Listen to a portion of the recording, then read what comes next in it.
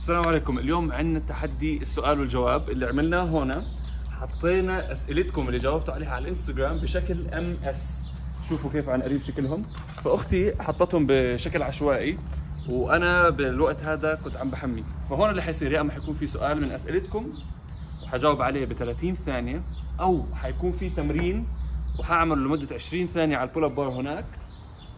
أو وهذا الخيار اللي أنا بدي إياه عشان إحنا في رمضان حيكون في break اللي مدتها 20 ثانية. هلا. أكثر شيء موجود بين اللي وراء هي التمارين ثاني أكثر شيء هي الأسئلة وأقل شيء موجود هي ال breaks. فخلينا نشوف يعني قديش حتاخذني عشان أجاوب على كل أسئلتكم. في 10 أسئلة هون ما بعرف شو الترتيب. خلينا نبدأ على السريع بأول ورقه بسم الله حاخذ هاي. okay حلو. أول سؤال لو ما كان في تيك توك شو كنت رح تكون؟ صراحة هو سؤال شوي صعب لأنه الحمد لله حياتي كلها متمحورة حوالين تيك توك. يمكن لو ما كان موجود تطبيق كان ضليتني في مجالي اللي هو هندسة الكمبيوتر. بصراحة ما بعرف إذا كنت حكون هالقد مستمتع في ذاك المجال. فبصراحة بشكر ربنا وبحمد ربنا إنه تيك توك دخل آه، على حياتي ودخل على العالم بشكل عام. هذا هو أول سؤال خلصنا منه؟ next next next next okay. push ups 20 ثانية. وقت ال push ups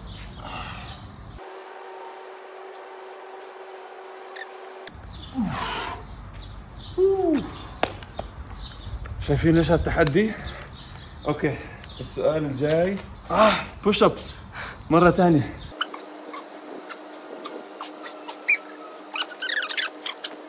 ناخذ الأزرق. كيف الإنسان بيموت وهو عايش؟ في ممكن نقول وجهتين نظر بالنسبة إلي.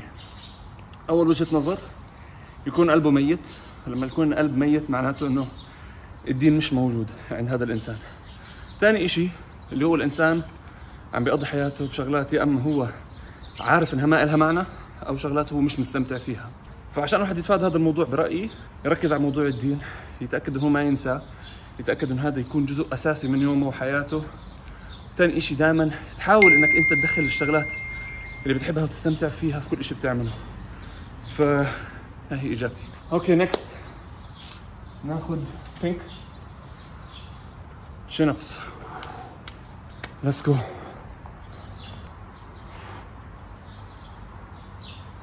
الوقت. بسرعة بدون ما نوقف. تحدي صعب يا جماعة. آه.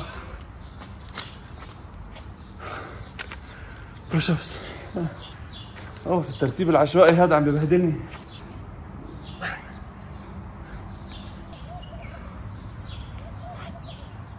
خلص الوقت.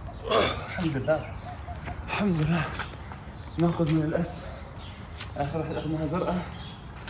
oh my god chin ups طبعا لو خلصت الأسئلة. قبل ما أعمل التمارين خلص رمضان.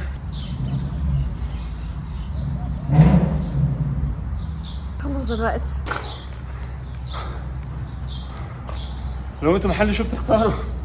آه. okay. مع أو ضد المواساة بين الرجل والامرأة. هلأ شوفوا موضوع المواساة أنا مع. لازم الامرأة نتأكد إنه هي حقها مش مظلوم. لازم نتأكد إنه يعني الناس بتعاملها بالطريقة الصح. بس بنفس الوقت في موجة وترند طالع إنه الامرأة حقوقها أكثر من الرجل أو الرجل ما له داعي في المجتمع. بكره هذا ال- المنظار لأنه بحس إنه هيك لا بطلنا نحكي عن مساواة صرنا نحكي إنه حدا أحسن من حدا. ما حدا يعني ما حد جاب هاي السيرة. فبالنسبة لي نركز على موضوع إنه الطرفين يكون تعاملهم تعامل مزبوط ما حد ينظلم. بس بنفس الوقت ما نحكي عن حدا إنه له داعي وما له داعي. وجهة نظر شخصية وللعلم. أنا صح كتبت الأسئلة يمنا رتبتهم بس كتبت خمس أسئلة على الأزرق وخمس أسئلة على الزهري بس ما بعرف شو الأزرق وشو الزهري اللي عليه الأسئلة. أوكي حلو. لماذا لا نرضى؟ بتعرف في في شغلة في الحياة. الواحد لازم يعرف يحكي الحمد لله على كل شيء بيصير معه. لما نتعود على كلمة الحمد لله في حياتنا. شو ما صار إشي منيح إشي عاطل. بتحس تلقائيا تشعر بالرضا أكثر في حياتك. بس لما نتعود إنه الحمد لله ما تكون يعني على لسانها باستمرار دائما بيكون في شعور بالفراغ من جوا. الواحد بينسى النعم اللي الله انعم عليها اللي الله أنعمها عليه. ف لماذا لا نشعر بالرضا؟ يمكن لأنه ما بنقول الحمد لله كفاية. هاي اللي بعيدة عم بتنادى علي. متخبي. أوه الحمد لله break أوه. break كم سؤال صرنا مجاوبين؟ خلص. الوقت. آه هاي اللي بالنص هل من الجيد إنه يكون عندنا خيارات نختار منها؟ من ناحية سيكولوجية برأيي آه. لأنه الواحد بحس إنه ما عليه ضغط كثير بس بنفس الوقت في عندنا إحنا سيناريوهين يا إما يكون في كثير خيارات وبصفي في كثير خيارات ومش عارفين نختار منها أو ما عندنا أي خيار. هلأ الحلو لما ما يكون عندنا أي خيار هاي حالات نادرة. ممكن هاي علامة من ربنا إنه بدنا إيانا نمشي في اتجاه معين في حياتنا. باتجاه هو كاتب لنا إياه. طبعا كله مكتوب بس هذا الاتجاه يمكن إحنا ما كنا مفكرين فيه. وال... لما يكون عندنا كثير خيارات يمكن الواحد وقتها بيصير يحكي الله ليش عندي كثير بحس إنه صار disadvantage يعني صار هذا الإشي عبء عليه. فالإجابة هي آه أو لا حسب ال- المنظار وحسب نطاق. آه pull ups شكلنا جاوبنا على أزرق أكثر من زهري. خلينا ناخذ زهري. هاي شوفوا كيف مدفونة تحت الأزرق. شكلها. أوه chin ups دور الأزرق. oh my God pull ups هلكت يا جماعة هلكت. المشكلة مش عم بعد. كم جواب سا... جاوبت عليه؟ أو كم سؤال جاوبت عليه؟ فعم بعذب حالي هلكت. بطلت قادر يا جماعة. آخر وحدة. خلص الوقت. أوكي الحمد لله. ليش بنختلف عن آبائنا؟ وليش دائما في صراع؟ ما حدا عم يحكي عنه. وجهة نظر شخصية. الآباء عندهم صورة أو فكرة لكيف بدهم يخلوا أولادهم يكبروا كيف بدهم إياهم يكونوا بالمستقبل. الأبناء بنفس الوقت عندهم صورتهم لحالهم ونظرتهم لحالهم وكيف هم حابين يكبروا. فإيش بصفي؟ عندك اتجاه الآباء واتجاه الإبناء. كل واحد مرات مش مش دائما بس بعض الأحيان بيمشوا في اتجاهات معاكسة. من هون بصفي في خلاف لأنه في اختلاف بالاتجاه. الإبن بده يروح بطريق والأب بده يروح بطريق ثاني بدي اقتراحاتكم. عندنا هدول. آه. الله يجعلنا من أهل اليمين. يا سلام. أوكي. شو بدك آخر كلمات في حياتك إنها تكون؟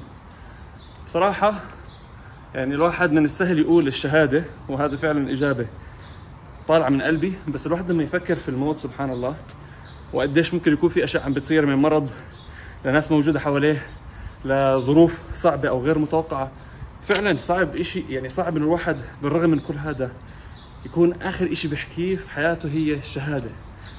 أشهد أن لا إله إلا الله وأشهد أن محمدا عبده ورسوله. ف يا رب يرزقنا قوة الإيمان حسن الخاتمة وتكون فعلا هاي هي كلماتنا الأخيرة. ويعطينا القوة إنه بالرغم من كل الشغلات اللي ممكن تشوشنا في هذيك اللحظة ننطق بالشهادة.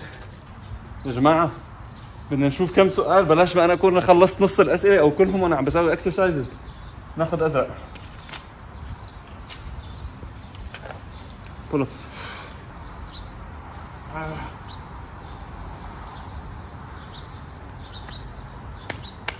ده ع- عشر ثواني. آه. okay ناخذ break سريع ونعيد الأسئلة. كل هدول تمارين يا يا جماعة. سبع أسئلة معناته ضايل ثلاثة. ضايل ثلاثة. إذا بدنا نغش ضايل اثنين من الأزرق. wait wait واحد اثنين ثلاثة أربعة خمسة ستة سبعة. okay اثنين من الأزرق وواحد من ال pink sorry عقلي شوي. اثنين أزرق واحد أحمر. هذا لحاله عم بحاول إنه ما- يلفت انتباهي ف break okay الحمد لله. هاي بنشوفك بنشوفكم بعد 20 ثانية. خلصنا ال break next next next next next عندي إحساس هذا. سؤال. yes إيش بخليك مبسوط بالحياة؟ إجابة صريحة آه رضا أمي ورضا تيتاتي يعني بتحس إنه لما يكونوا فعلا راضين عليك من قلبهم الحياة بتفتح هيك بتفتح إيديها لك فهذا الإشي طبعا بفضل ربنا يعني بس رضاهم بتحس إنه طريق آه كيف أحكيها؟ يعني واحد من الطرق الإضافية الواحد يربط علاقته بعلاقة ربنا يعني إن شاء الله يكسب رضا ربنا كمان. ف هاي إجابة صريحة بالنسبة لي ناخذ آه، فاصل قصير عشان ما نسبح. أوكي. نحطهم هنا. خلصنا آخر سؤال زهري. يعني هلا بدنا نركز على الأزرق؟ حاعطيكم أنا حصة statistics و probability. بكره هاي المادة على فكرة. بس عندي إحساس. واحد من الأسئلة حيكون هذا الطرف ولا السؤال الثاني حيكون من هذا الطرف. فبناء على ال statistics ها بين هذول الاثنين الله يجعلنا من أهل اليمين. chin ups okay. انسوا الحصة ال statistics هاي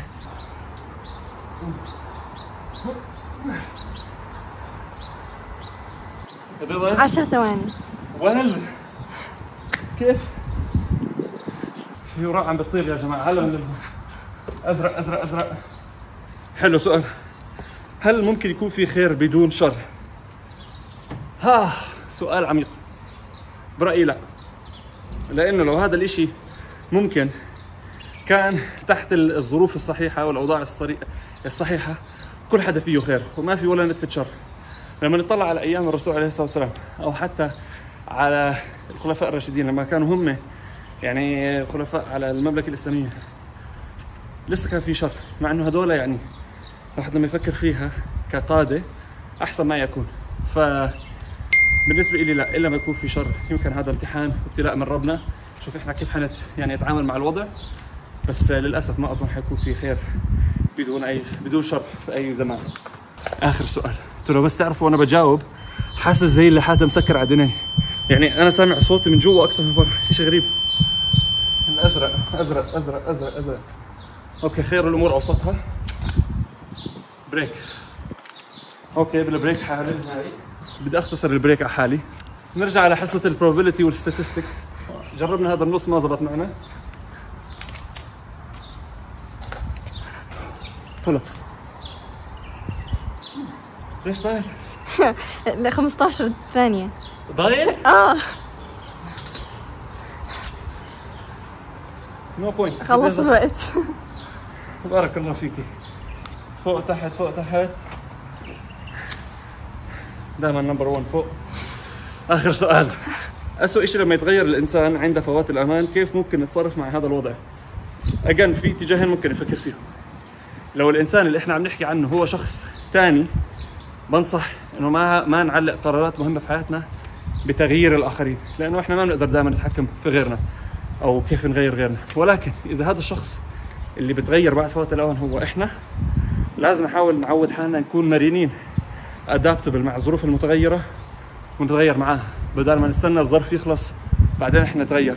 ف حسب إحنا بنحكي عن حد ثاني ولا عم نحكي عن حالنا. وهيك بكون خلص الوقت خلينا نوريهم ال timer خلصنا آخر سؤال. بس عشان نتأكد حنكشف باقي اللي وراء pull ups ما حنعمله.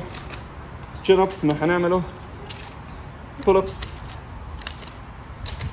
chin ups هذا كله كل هالتمارين break chin ups تخيلوا. منيح إني استخدمت ال statistics pull ups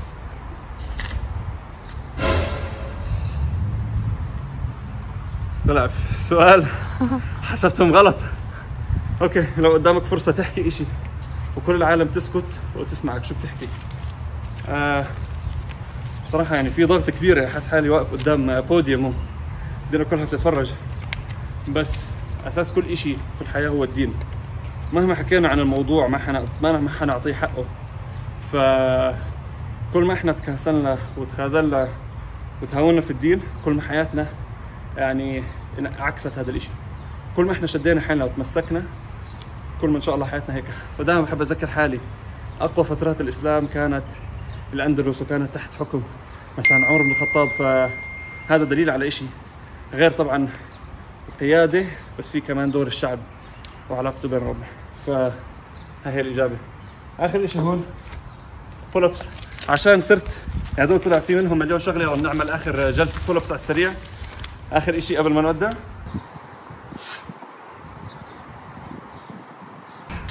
ثلاث ثواني. أوكي. خلصنا يا جماعة. عندنا ضيوف جايين. معنا الأفطار. شوفوا السماء خلص غابت الشمس تقريبا. فلازم نركض جوا بس ببداية قبل ما نوسخ الدنيا. نلم الوراق شكرا كثير لكم حضرتوا إن شاء الله تكونوا استمتعتوا. شكرا لاختي يمنى اللي عم بتصور. شكرا لزين نشوفكم إن شاء الله في الفيديو الجاي. مع السلامة.